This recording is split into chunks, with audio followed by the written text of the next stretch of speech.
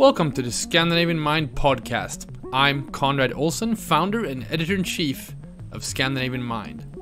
Today we are revisiting a talk from the Transformation Conference, a fashion tech event we hosted together with Uni Communication in Helsinki on May 31st, 2022. In the midst of the most transformative period that fashion has ever seen, we wanted to explore how Finland and Sweden could deepen their impact on the industry together. This panel talk was titled How to Market and Communicate Fashion Tech. How do you communicate innovation in a visual industry? We hear practical examples on creative marketing and learn about the need for radical transparency in order to make the consumer a decision maker. Speakers were Reetta Hassinen, Business Development Manager at Spinnova, and Matilda Kivelä, Strategist at Reaktor.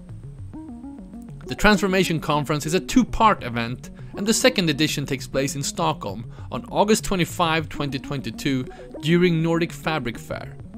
If you want to get an invite to that event, please make sure you subscribe to our newsletter. Visit scandinavianmind.com slash newsletter.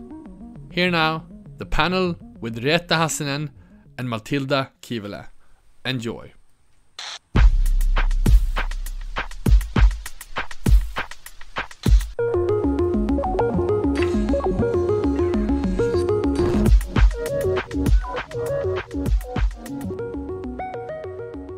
Round of applause.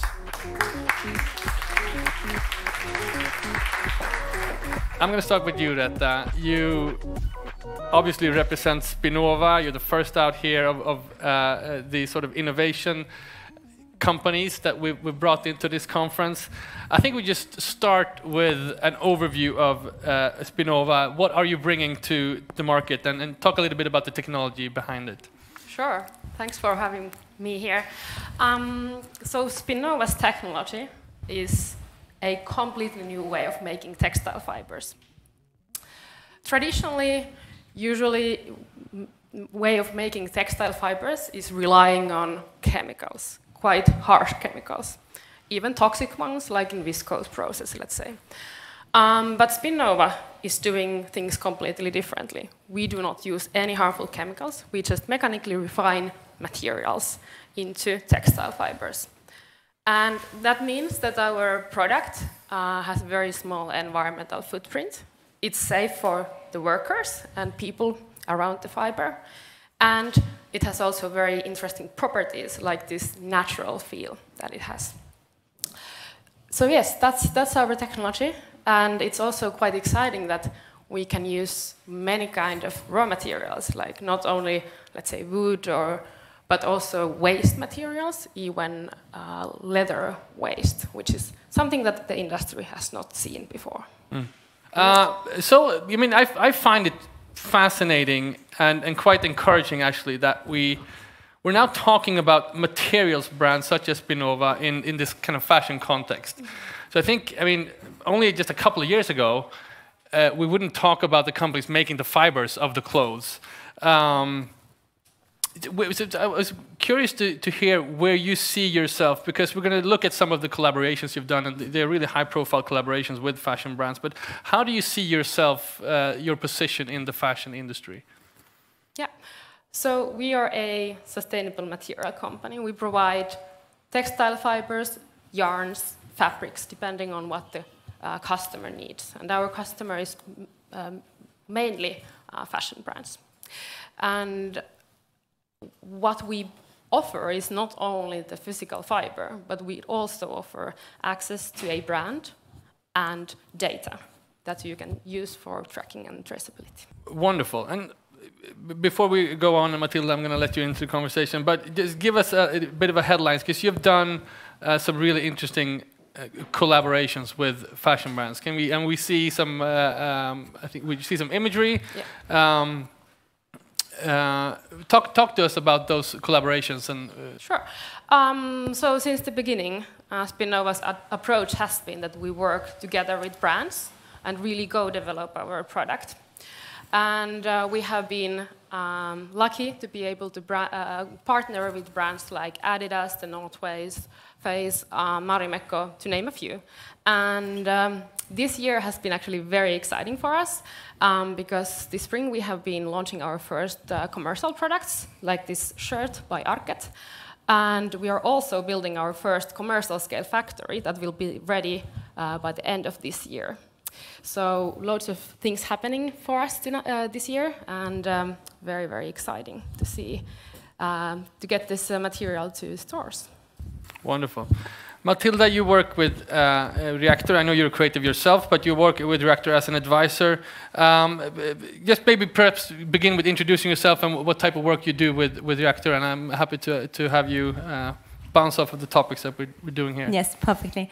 Um, and around two years ago, or a couple years ago, we decided that we actually needed a creative unit inside the technology company because all of these great companies that we're serving really were lacking this kind of holistic partner that could provide the technology solution, but also provide everything after that. So storytelling, marketing, brand strategy, everything that comes after the product. Um, so we really offer these holistic solutions, starting from the very product up until the moment when uh, all these things on these beautiful screens. Wonderful.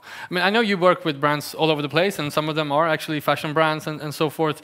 But you know, I, I mentioned this this uh, phenomenon of, of us talking about materials companies mm -hmm. in mm-hmm. the fashion uh, um, context right now.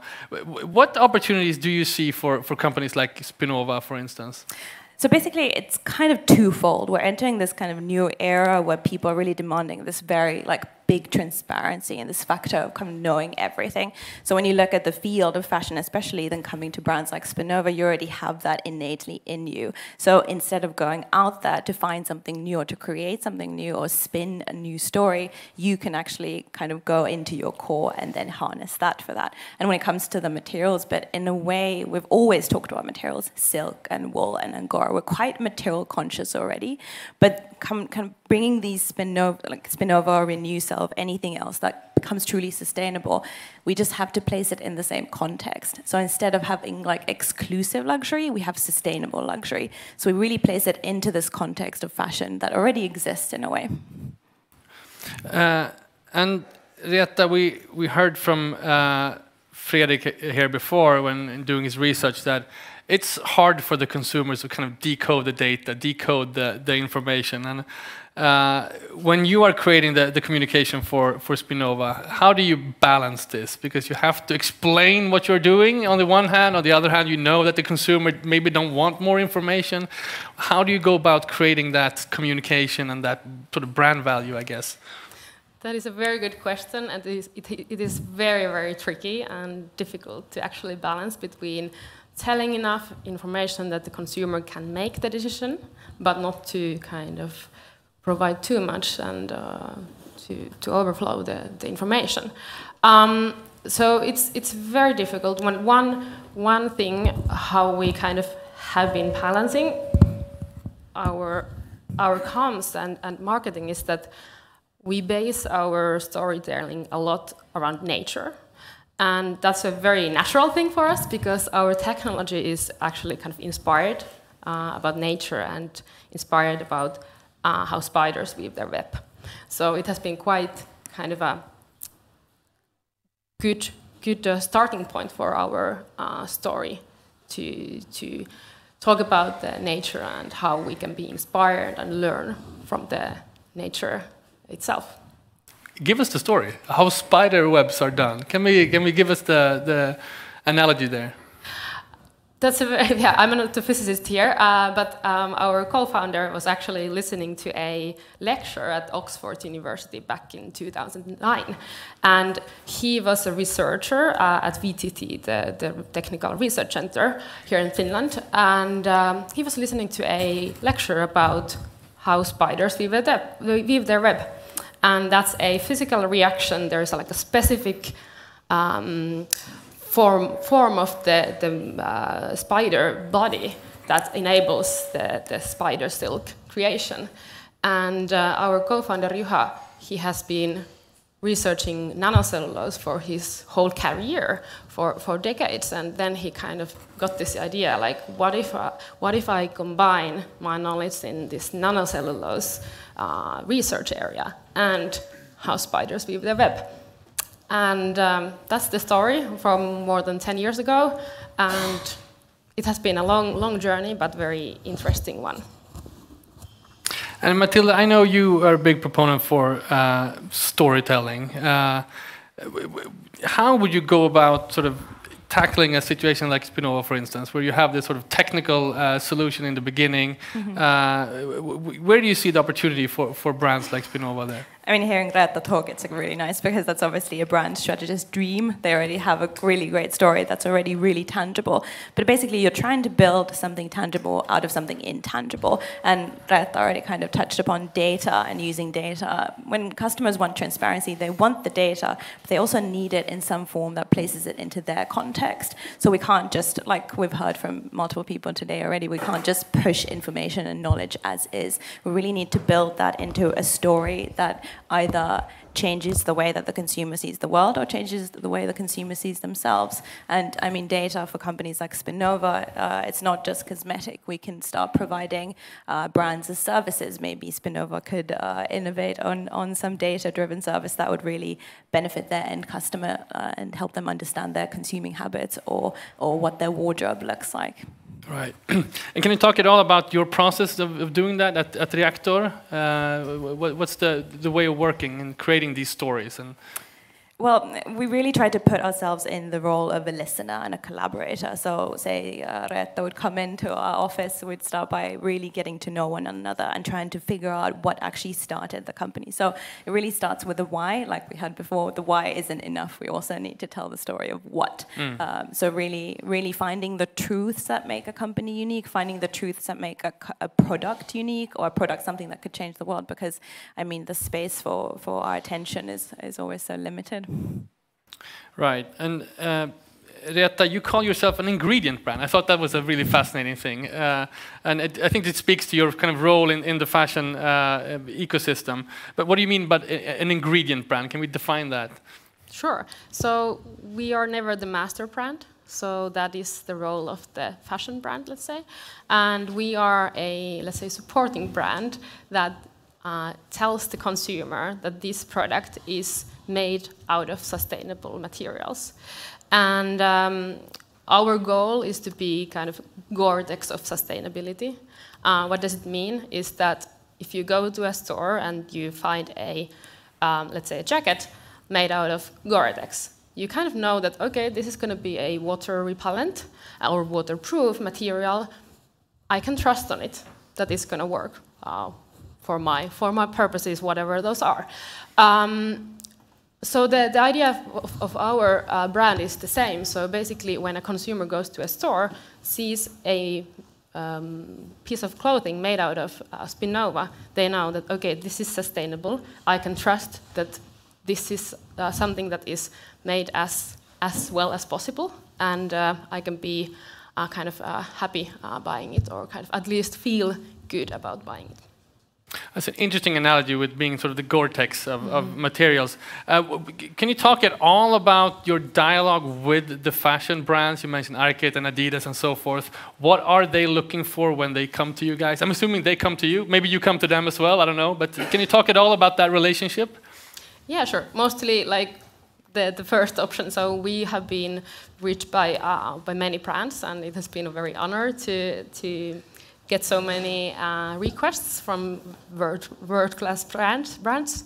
And um, so, uh, as I mentioned, we, we really do go development together um, because our material is still quite new. Um, but what brands are really looking for is, I guess, like this having material that has a story already within. Mm. And our story is, is around uh, the kind of natural component. And uh, for instance, our visual, visual identity centers around uh, nature, uh, technology, and humanity. And that is also reflected on the, uh, the pics, uh, pictures behind us. And that has been resonating very well with the brands. So we have been seeing that uh, um, our brand partner partners are willing to use our brand assets very well. That's interesting. It's kind of a validation. Is that where you see the opportunity as well, Matilda? That that these sort of material brands that come in with technology and sort of these granular materials and fibers and so forth, they provide kind of a stamp of approval for for these big fashion brands? I mean, definitely and, and absolutely. But then right now, currently today, if you walk into a fast fashion store, for instance, you get bombarded with with uh, kind of uh, sustainability communication that carries the monikers of sustainability. It might be on a cardboard, uh, mm. little cardboard slab, or it might say recycled. But then, but then you really with Spinnova, you're fighting against that. You're fighting against this kind of a blanket of not maybe misinformation, but a slight tweaking of truth or like a slight uh, you know, doing hair and makeup on the Some call it greenwashing. I don't know. Have you heard that term? maybe, yeah, maybe that exactly. Um, Reetta, give us uh, kind of a, a, sense of where you are in your journey as a company right now. I know you're kind of a, a startup. I don't know if you define yourself as a startup still, but but uh, how do you see the, the roadmap and, and uh, how do you want to put your, your product to scale, so to speak? Yeah, very good question. Uh, so I would not define ourselves as a startup anymore. Uh, we did a successful IPO last year, and kind of I think that was kind of a turning point of becoming a scale-up. And um, as, as, mentioned, we have a very exciting year um, this year because um, the first commercial scale factory will be ready here in Finland, and that will be up and running early next year. Um, but it will be not only that. Uh, so our plan is to reach uh, a production capacity of 1 million tons by the next, uh, over the next uh, 10 to 12 years. And 1 million tons per annum is, is still, it sounds very big and it means quite much of capacity, but it's still kind of a, only the beginning of, of the kind of being a scalable and um, mainstream material of the future, hopefully. So, but uh, yeah, very exciting, and we have very big growth targets as well. So. Wonderful. And if there anything you can, is there an ask to the fashion community from you guys? What what are you what do you want to see from the fashion community in, in terms of creating new collaborations or using your product or engaging with with the brand? That's a very good question. Uh, one thing that we would like to see, if, of course, kind of really engaging in partnerships and kind of seeing the commitment yeah. of brands, not only commitment in, in sustainability, but also in us and kind of working together. And one aspect of that is, I think, also being radically transparent about the materials. Mm. And um, we have been working towards that um, by building our capabilities to, to collect data uh, of our production, uh, to really be able to track down every kilograms that we produce. Um, so if the brands are willing and open to use the data, we do have that. But that kind of just needs that the brands are also willing to use the data and uh, be open and transparent. Right brands take care of the data. All right. Uh, it's not in the schedule, but I felt like we do need a short break here. Uh, midway, uh, we'll be back in, let's say, 15 minutes. Let's stretch our legs, maybe get some more uh, air into this space. I don't know if we have coffee. We have coffee for everyone. That's great. So, uh, 22. Thank you very much. And a round of applause.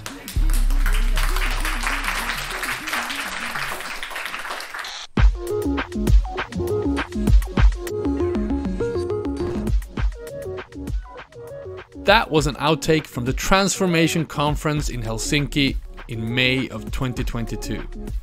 The Transformation Conference is a two part event, and the second edition takes place in Stockholm on August 25, 2022, during Nordic Fabric Fair. If you want to get an invite to that event, please make sure to subscribe to our newsletter. Visit scandinavianmind.com slash newsletter. Until next time, goodbye.